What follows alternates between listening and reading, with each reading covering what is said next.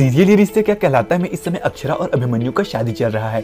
लेकिन बहुत सारे दर्शक, शादी में क्या क्या होगा और शादी के बाद क्या क्या होगा, उसे जानना चाहते हैं। और उसी के बारे में हम आपको आज की इस वीडियो में बताने वाले हैं। इसलिए अभी तक आपने इस वीडियो को लाइक नहीं किया तो इस वीडियो को लाइक कर दीजिए और हमारे चैनल को सब्सक्राइब करके बेल आइकन के बटन को भी प्रेस कर दीजिए।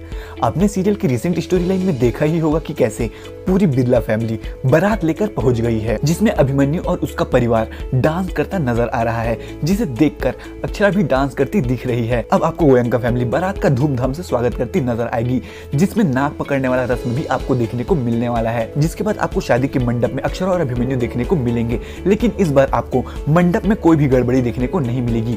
जिसके बाद आपको सीरियल में विदाई वाला मोमेंट देखने को मिलने वाला है, जो काफ़ी ज़्यादा इमोशनल होने वाला है, जिसे देखकर अभिमन्यु खुद इमोशनल होता नज़र आएगा। जिसके बाद पूरा गोयंका और बिरला परिवार जयपुर से उदयपुर पहुँच जाएँगे, जहाँ आप सीरियल में देखेंगे कि बिरला हाउस में ग्रैंड तरीके से अक्षरा का स्वागत होता नज़र आएगा, आप शादी के बाद सीरियल में अक्षरा को कैसी देखना चाहेंगे? कमेंट में आप हमें ज़रूर बताएँ। और अभी तक आपने इस वीडियो को लाइक नहीं किया तो इस वीडियो को लाइक कर दीजिए। और इसी तरह टीवी सीरियल रिश्ते का कहलाता है जुड़ी हर एक छोटी बड़ी अपडेट को सबसे पहले जानने के लिए आप हमारे चैनल को ज़रूर सब्सक्राइब करें।